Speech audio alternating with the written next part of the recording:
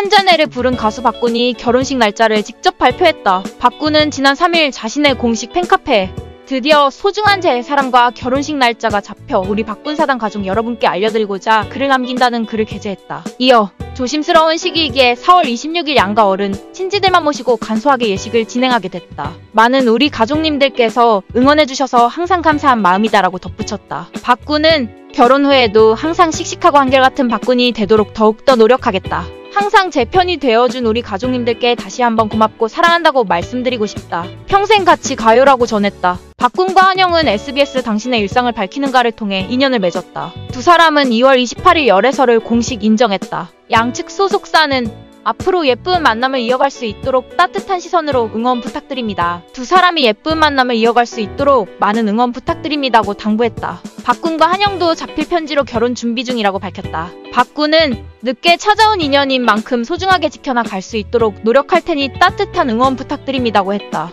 한영은 동료로 만나 힘들고 아픈 시간은 서로 격하고 위로하며 연인이 되었고 이제 가족이 되어 서로를 아껴주고 지켜주고자 합니다. 세상에 둘도 없을 것 같이 착하고 바른 이 사람과 서로 기대고 보듬어주면서 또 나누며 열심히 잘 살겠습니다고 했다. 오는 4월 결혼식을 올릴 예정이었던 박군과 한영이다. 두 사람은 결혼식 날짜를 4월 26일로 확정지었다. 결혼 발표 후 한영은 자신의 SNS에 박군과 찍은 사진을 게재하며 애정을 과시하기도 했다. 결혼식 날짜를 잡은 두 사람에게 축하가 쏟아지고 있다.